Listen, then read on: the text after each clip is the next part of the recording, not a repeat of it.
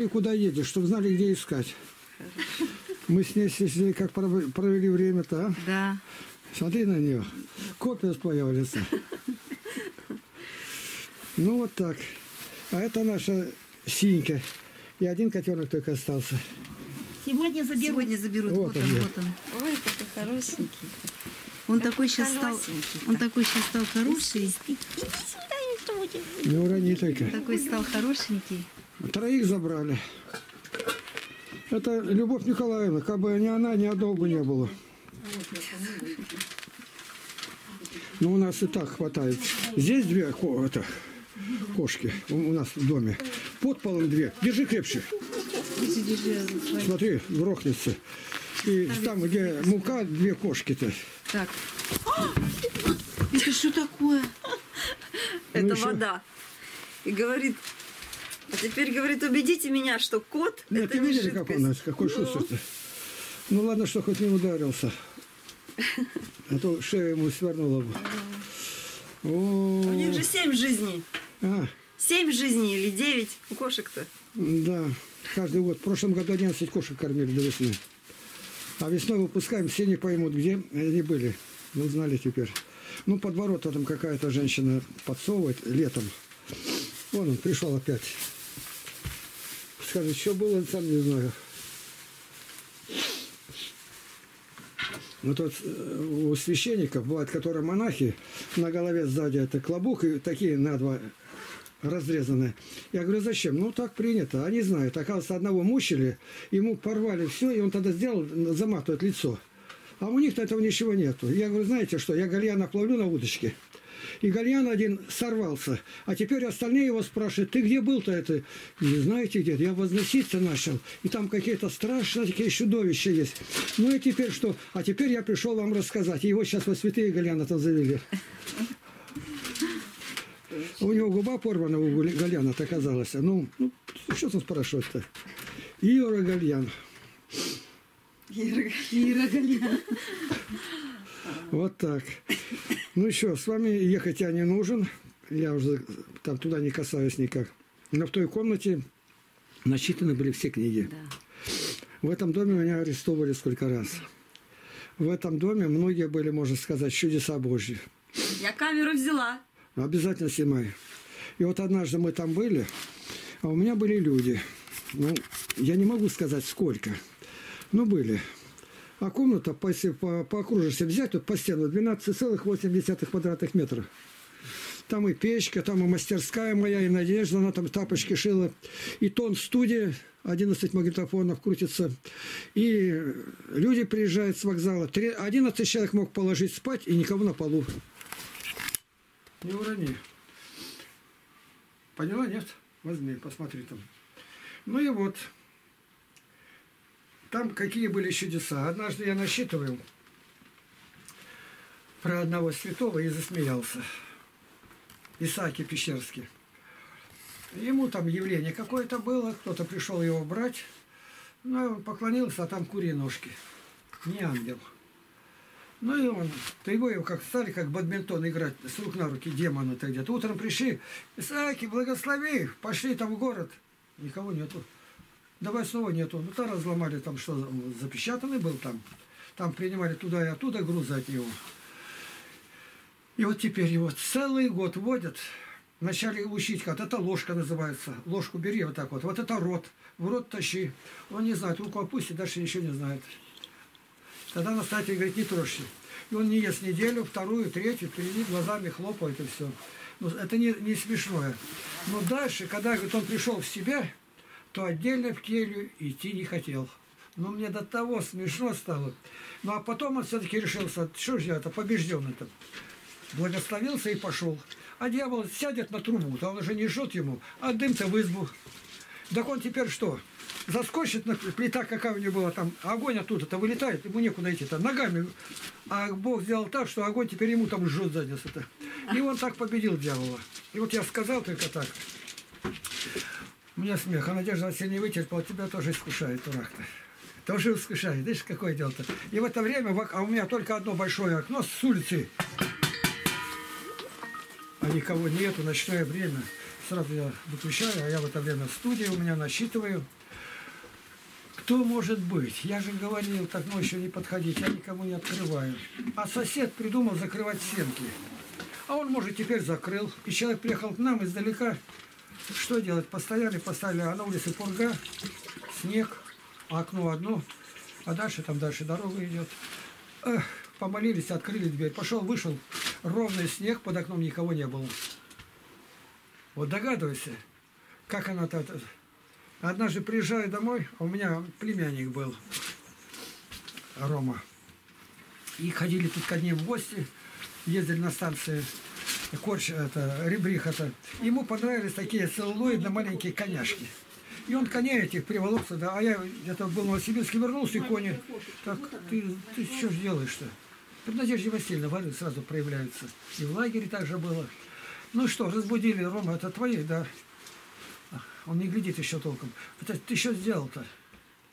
Ты лошадей ворованных завел ко мне в комнату, а воров Бог преследует, и с тобой вместе я погибну. Одевайся. А у меня сарай через дорогу железной дороге. Отнесли туда этих лошадей. Утром Надежде Васильевне придумайте, какие подарки. Лошадей всех, поезжайте туда, отдайте лошадей, заведите хозяевам. И подарки, чтобы они простили нас и благословили. Как ребенка воспитывать? А вот так. Ты помнишь, к Василию ездил, помнит все, она, вот она где. Разные, Ну, разные случаи были. помнить? Однажды приезжаю, ширма только у Надежды Васильевны, а у меня нету. Лежу там из-за ширмы, выглядывает один такой. А кто это такой? Ой, это в церкви, это один человек. Он из Москвы, он от пьянства лечит, и даже патриарха лечил. Такой человек. А там еще, не знаю, кажется, Валя Шитикова была. Ну, я не знаю. Что же это? Я, меня нет, и вы уже мужика тут завели в дом. Это другой запах совсем. Узнал, как звать, как что. Вижу, вранье сплошное идет. И вот я дам, у меня лекарство. Его прямо скрутит человека вот так. Я говорю, ну, плохо будет. Ну, а потом раскрутит. Ну, ладно. Утром засветились, а у вас рогалики есть такие, продают, как маленькие? Да, да, да. Рогалики есть. Я их во сне не видал. Покормили его, они его приветили по чину патриарха. А мы в это время работали в церкви дворниками, снег кидать. Я его взял с собой. Бабки там вчера ищать хотели, они ему деньги дают. Полищи сын сына, Варфоломея, этому сказать, это, вот. надо помолиться. И он избавит тот, он знает кто. Пьяница там. Бонифатий, когда он его стал мощником. И я его в храм завел, а сам снег кидаю. Гляну, он там стоит. Как же быть? А я вчера был в отделе милиции, наружу видно, разыскиваются там такие мошенники. И там есть человек из другого мира, я, его там нету, я его фамилию-то не знаю. Но него лицо на Луна- Луначарского похоже. Это первый министр образования при Ленинском правительстве был. Знающий такой. Я зашел и говорю, там, кажется, я говорю, там моя милиция такого разыскивает. Там, ты случайно не твои, показываю ему Луначарского то-то. Вы, вырезал-то. Он вышел оттуда в ограду, через ограду пересягнул по сегодняшний день. В каком направлении ушел, неизвестно. Вот какое дело-то. Это все в этой маленькой комнате у нас было. Я всегда дверь тщательно закрываю. Зашел и сразу. И вот так вот захожу, а у меня люди приехали с оконем городка, режиссеры, беседуют. И человек 11 набилось. Ну, мужчины здоровые такие. Я не закрыл, в это время дверь резко открывается, а тут как заходишь, маленький тамбурочек, в комнате уже одежда висит. Я, а, что они, вор- ворвались, не случайно. В комнату раз, а тут человек 11. И они сразу, извините, я, наверное, не в ту комнату попали. Были таковские. А если бы я был один? Вот у меня был еще один такой. Я э, около железной дороги был, а там воруют. А у меня две собаки. И однажды я иду, а через дороги такой перейдешь, там много дорог таких. Э, И там моя работа. И вот однажды оттуда иду, и две собаки, я в, гол- в уголовном розыске занимался, большие, восточноевропейская овчарка, сейчас называют немецкая порода. И гляжу, вагон разгружаю, там холодильники, там ковры, мя- масло там вытаскивают. А люди знакомые, я с собакам сидеть! Сразу подошел, ребята, немедленно, сейчас же, быстро за- заряжайте обратно туда. А они меня знают, чтобы ничего здесь не осталось. Вы понимаете, нет? Дайте слово, что больше никогда не придете. Я про вас не скажу. Загрузили все утром, а это линейный отдел за этим смотрит. Утром рано уже милиция ко мне стучится. Мы узнали, что вот такое дело было, вы знаете, кто это сделал. Я говорю, я деньги не получаю за то, что я говорю. А вы получаете, ищите. Они дали слово, что их не будет. И правда, они ушли. Нет, проходит какое-то время, ко мне приходят. Отец, мы так хотим вас отблагодарить. Там ехала машина, опрокинулась. И там воск и колокол, который у меня висит. 1784 года. Да, да. Почти 200 Да, лет. да. И подарите мне. Ну, подарили, ну куда денешься? Воск, все. Я их, их защитил, а они меня однажды на меня напали, они меня защитили. Вот как возвращается это все. Да, да. Интересно? Да, да. И притом не один раз. А когда в коридоре выходить тебя надо. Да, сосед... уходите, давайте. Слышишь, сосед, когда тебя сказал, с ножом-то вышел, Да, они мать убили еще два хулигана-то. да. Как они тебя поймали? Эту кр- закрыли, и здесь в коридоре Ну, стоят. Надя тоже все. Все сказали идти, давайте идите. Не иди еще рано. Выходим. Вам рано быть здесь. Надо выходить. Мы опоздаем, потому что будет нам Так, пробка. слушайте, говорит Потеева Любовь Да. Николаевна. Там могут быть Мне пробки. нравится, как она по телефону. Звонит Любовь Николаевна Потеева. Я сразу отвечаю, слушает Лапкин Игнатий Тихонович. Вы расставляйте нас и пойдем, потому что я боюсь, что будет Я пробка. люблю порядок. Мне однажды при допросе сотрудник КГБ был, майор, кажется, Щепин, говорит, знаете, если вам только у нас работает. это? Это порядок такой. Я люблю, когда в государстве порядок. А тут на меня они сунулись, и не все получается, не сходится. Как они у меня искали однажды. Сколько человек было, неизвестно. Ну, как? Они прислушаются, на подоконник заскочили, не видать, окно-то одно. А у меня там 12 человек.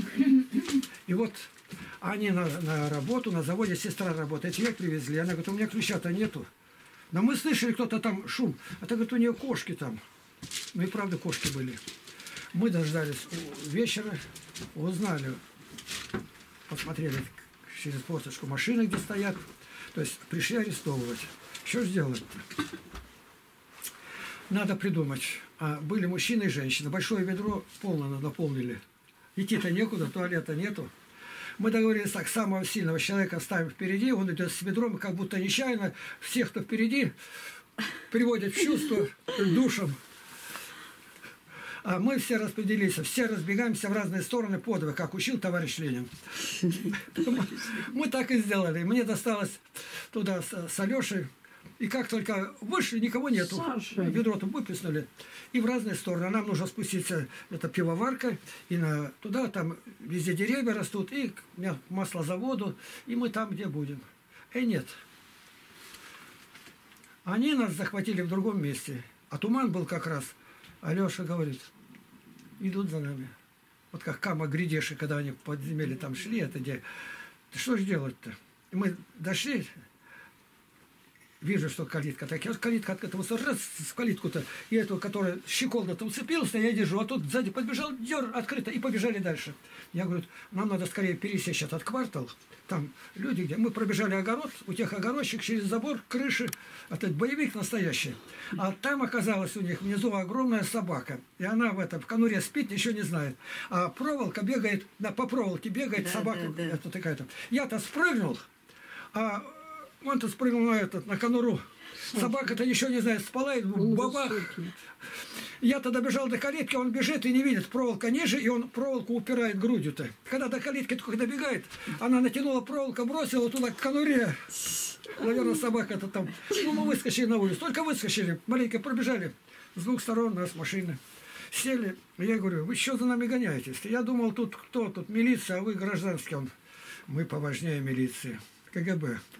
И сразу домой, обыск. И вот они там и ищут. Днем интересно. Я вот говорю, так, я говорю, мне надо в туалет сходить, и подполковник меня выводит. Что, в туалет подполковник, это президента не выводит. А выходить, тогда там подворку садить. Это надо видеть, как они обыскивали. И главное, набрали свидетелей, как называют, понятые свидетели.